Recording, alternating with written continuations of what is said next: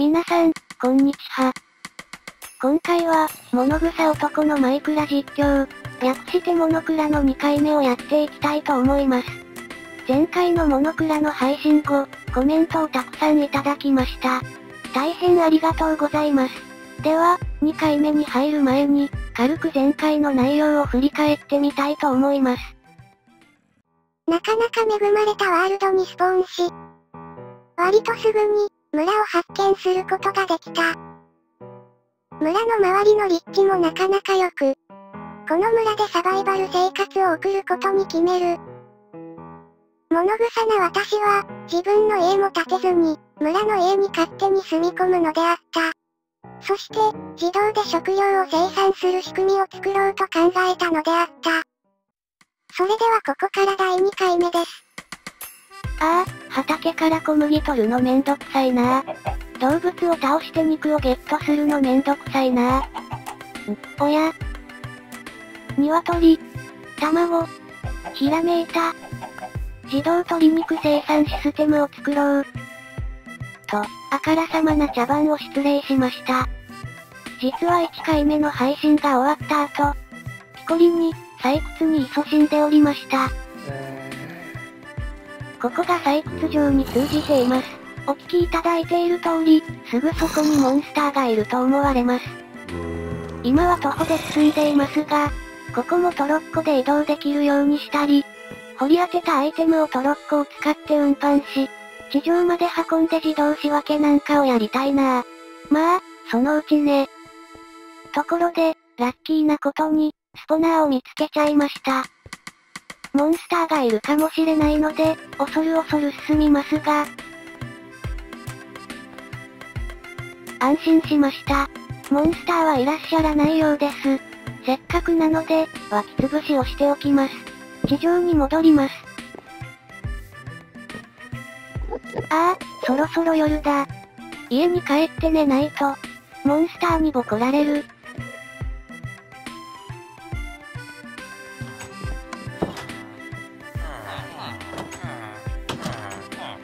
それでは、お待たせしました。自動鶏肉生産システムを作っていきたいと思います。このシステムを作るのに必要なアイテムは、結構簡単に手に入るのでおすすめです。ちなみに、このシステムを作るのに必要なものは全部クラフトしておきました。それでは、このシステムの全体像から説明します。このシステムは上の層と、下の層の2層からなります。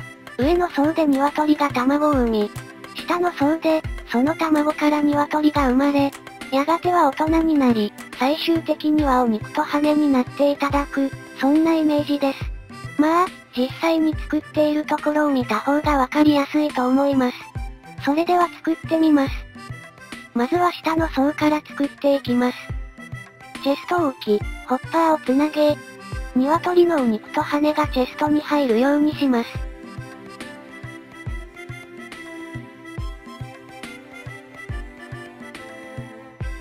そして、ホッパーの後ろに、ディスペンサーを設置します。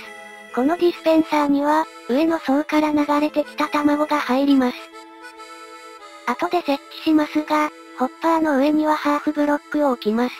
そうすると、ディスペンサーから出てきた卵が、ハーフブロックに当たり、卵が割れるわけです。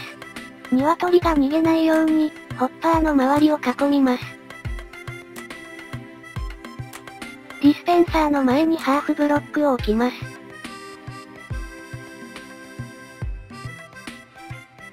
そして、チェストの上にガラスを置いて下の層は出来上がりです。ちなみに、ブロックは何でもいいのですが、ガラスの方が、中が見えていいかもしれないです。また、石レンガを使っていますが、これも特にこだわりはありません。続いて、上の層を作っていきます。まずは、ディスペンサーと上の層をつなげるのに、ホッパーをディスペンサーにつなげます。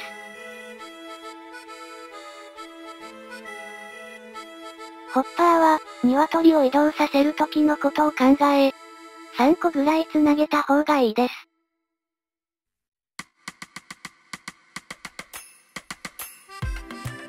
このホッパーの上に、鶏を置いてやります。次は、上の層の鶏が逃げないように、ブロックでホッパーを囲みます。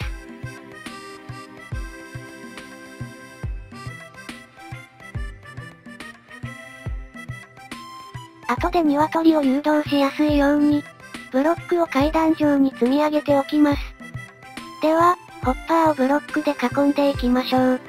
中の様子が見えやすいように、ガラスを使いたいと思います。逃げないように2段以上積み上げます。まあ、ここは他にいいやり方があるかもしれません。あ、暗くなったので、続きは寝てから。はい、一晩明けました。あらかじめ、鶏を育てておきました。彼らを上の層に誘導します。種を持って、鶏を誘導します。ここがなかなかの正念場です。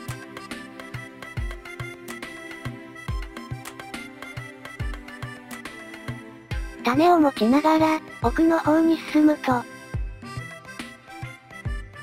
こんな感じで、押すな、押すな、と言わんばかりに、鶏が迫ってきます。ああ、失敗。種を離すタイミングが早かったです。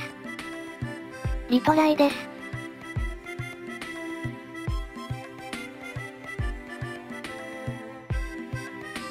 よし、成功。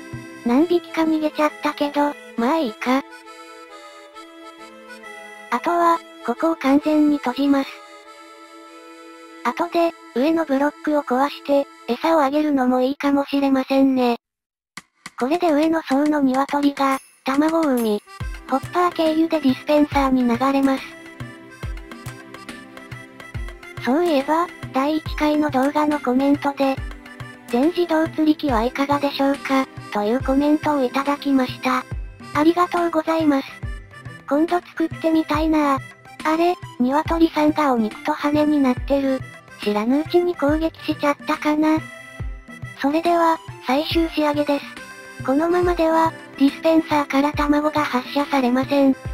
レッドストーン回路を作って、自動的に発射させてやります。今回は、自動で、ポンポンと定期的に発射させたいので、クロック回路を使います。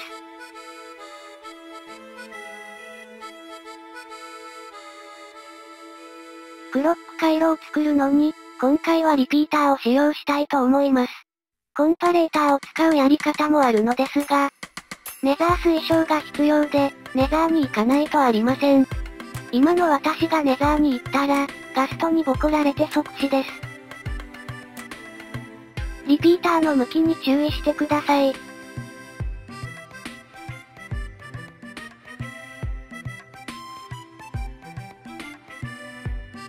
こんな感じで、リピーターをレッドストーンで輪っか状につなげます。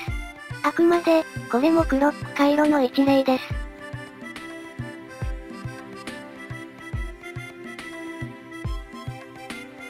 卵を発射させる間隔をちょっと遅くします。リピーターの2本のトーチのうち、動く方のトーチで、遅れ具合を調整できます。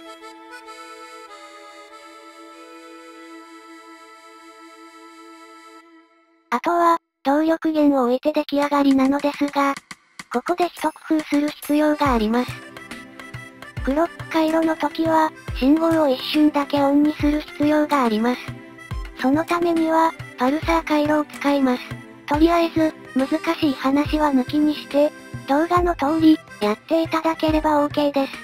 パルサー回路を作るのがめんどくさかったら、さっきみたいに、リピーターで遅れ具合を調整して、レバーをオンにしたらすぐオフにする、みたいなやり方でも OK です。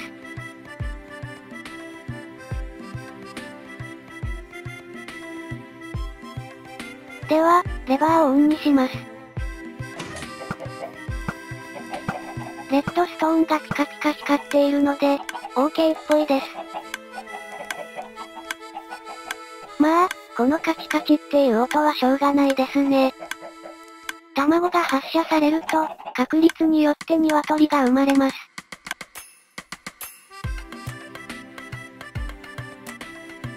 鶏が生まれたようです。やったね。あと、すいません。補足です。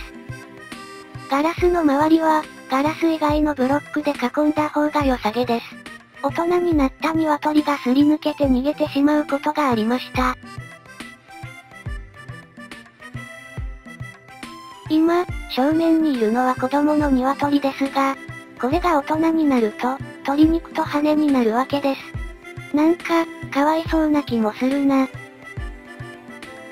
ま、いっか。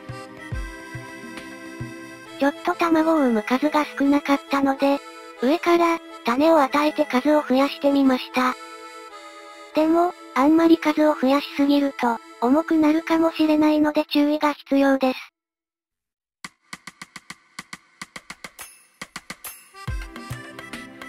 ちょうど、そのタイミングを捉えることができなかったのですが、無事、鶏が大人になり、鶏肉と羽になっていただきました。本当なら、このチェストからかまどにつないで、全自動焼き鳥生産システムもできるのですが、それは、また今度で。いかがでしたでしょうか？あ、ちょうど今、鶏がお肉になりました。最後までご覧いただきありがとうございます。次回もまた、ご覧いただけたら幸いです。